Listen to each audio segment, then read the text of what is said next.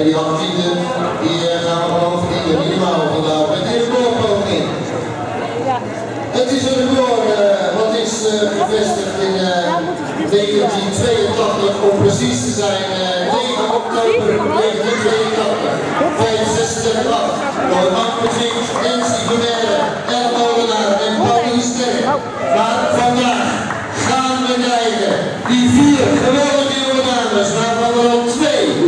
Naar de NK gaan. Namelijk Tess Schouten, want zij is de nummer 2 van Nederland. En Nicolien School. En die zegt sowieso alles bijna met NK limieten. Die gaan we terugzien op de Nederlandse kampioenschappen. We kijken dus straks op rugslag Nicoline School. Op de schoolslag Tess Schouten. Vliegenslag